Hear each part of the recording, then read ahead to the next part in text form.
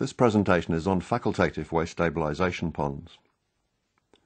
We use the term primary facultative pond for facultative ponds that receive raw wastewater, and secondary facultative pond for those receiving the effluent from an anaerobic pond or other settling device such as septic tanks or the solids interceptor tanks used in settled sewerage.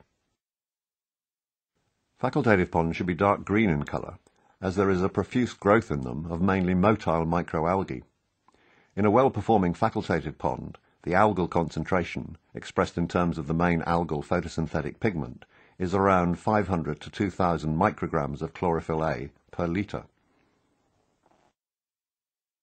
In facultative ponds, there is a mutualistic relationship between the algae and the heterotrophic bacteria. The algae produce oxygen, which is used by the bacteria, and the bacteria produce carbon dioxide, which is used by the algae. There's a sludge layer in primary facultative ponds, and there's intense anaerobic digestion in this layer with copious biogas production. The BOD of a facultative pond effluent is mainly due to the algae in it, and this algal BOD is very different from normal wastewater BOD, and we'll come back to this shortly. These photomicrographs show some of the algae commonly found in facultative ponds, Chlamydomonas, Chlorella, Euglena, and Scenedesmus. Algae produce oxygen, but only during daylight hours. This means that there is a diurnal variation in the dissolved oxygen levels in the pond, and the figure on the slide shows this for two depths, 10 and 80 centimetres below the pond surface. And you can see that the diurnal variation is much greater at 10 centimetres than at 80 centimetres. As a result of algal photosynthesis, there is a diurnal variation of pH, as well as of dissolved oxygen. This is because when the algae are photosynthesizing rapidly, their CO2 demand exceeds its supply from bacterial metabolism and from the atmosphere. So carbonate and bicarbonate ions in the pond water dissociate to provide more CO2, but also hydroxyl ions, OH-, as shown by the equations on the slide. The CO2 is used by the algae, and the hydroxyl ions accumulate, so the pH rises. As a result, the in-pond pH can rise to above 9 or even above 10, and this is very important for the die-off of fecal bacteria. An in-pond pH of 9.4 and above is rapidly lethal to fecal bacteria, with the exception of Vibrio cholerae, which easily tolerates these high pHs, but fortunately it's quickly killed by the sulfides in anaerobic ponds. The wastewater depth in facultative ponds is somewhere between 1 and 2 metres, with 1.5 metres being the most common. Depths less than one metre aren't recommended because there's the problem of rooted plants growing up through the pond, and they then provide a shaded habitat for mosquito breeding, which we certainly don't want. The length to breadth ratio of primary facultative ponds is 2 or 3 to 1, certainly no more than 3 to 1, as there would be significant sludge accumulation near the inlet, and these sludge mounds can eventually block the inlet. For secondary facultative ponds, the length to breadth ratio can be greater than 3 to 1, but it shouldn't be less than 2 to 1. So how do we design facultative ponds?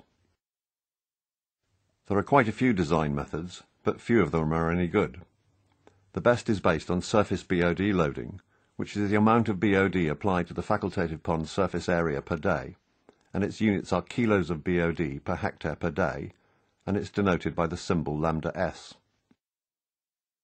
So if the influent BOD Li is in milligrams per litre, which is the same as grams per cubic metre, the flow Q is in cubic metres per day, and the area A is in square metres, then lambda S equals 10 LIQ over A. We end up with the 10 in this equation, as there are 10 to the 3 grams in a kilogram, and 10 to the 4 square metres in a hectare. The value we use for lambda S depends on temperature, the design temperature we're using.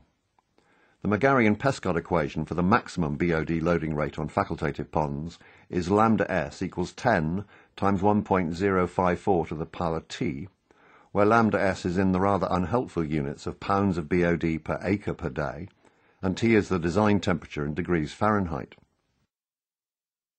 Using SI units, their equation becomes lambda s equals 60 times 1.099 to the power t, where the units are now kilos per hectare per day and degrees Celsius. The McGarry and Pescod equation is really an envelope of failure. The figure on the slide shows the data points on which their equation was based. The black dots represent facultative ponds that were working okay, and the open circles represent failed ponds, ponds that had become anaerobic.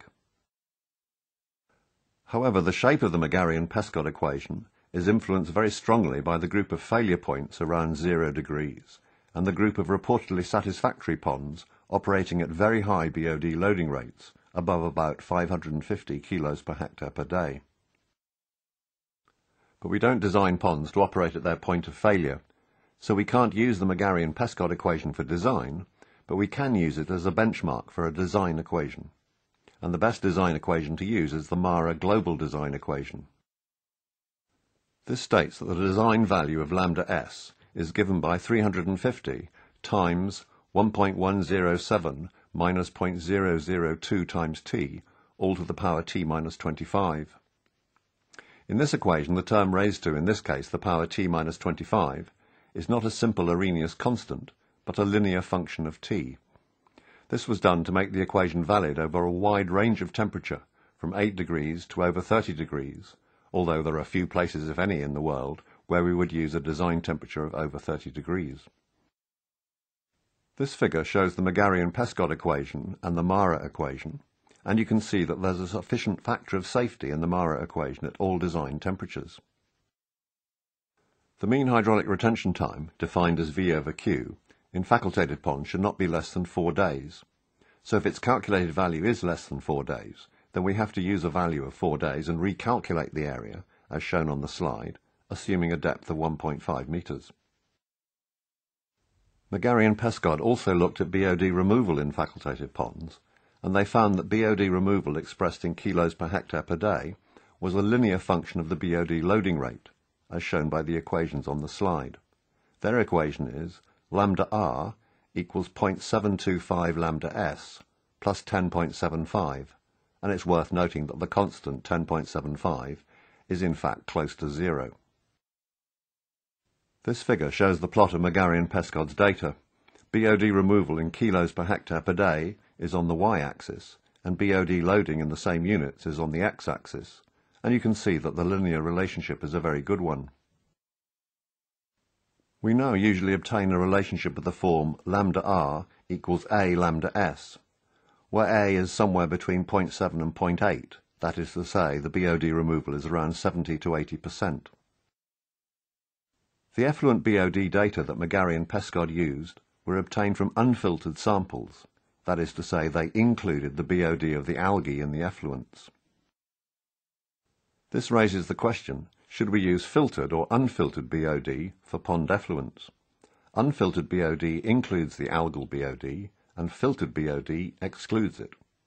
We filter the effluent sample using the same filter paper as we use for measuring suspended solids. This will, of course, remove any non-algal suspended solids, but this introduces only a small error, as the algae contributes somewhere between 70 and 90% of the BOD in pond effluents. In the European Union, the quality of treated wastewaters is governed by the Urban Wastewater Treatment Directive, and this lays down a general BOD requirement of no more than 25 milligrams per litre, but for pond effluents this is filtered BOD. Compliance with the directive's requirement for suspended solids is optional, except for ponds. Pond effluents have to have no more than 150 milligrams suspended solids per litre. So we have to ask the question, if this is okay in the European Union, why not in developing countries? This is always something that should be discussed with the local environmental regulator. This table gives the percentage BOD removals obtained at various BOD loadings from around 160 to nearly 600 kilos per hectare per day on primary facultative ponds in northeast Brazil at an in-pond temperature of around 25 degrees. Now these percentage BOD removals are all pretty good, so why was a design loading of 350 kilos per hectare per day chosen for 25 degrees and not a higher one? We chose 350 kilos per hectare per day as the design loading for 25 degrees on the basis of the stability of the algal population in the pond, as we found that at this temperature the algal biomass concentration, measured as chlorophyll A, became very low when the BOD loading was above about 400 kilos per hectare per day. As shown in these results from our primary facultative ponds in northeast Brazil.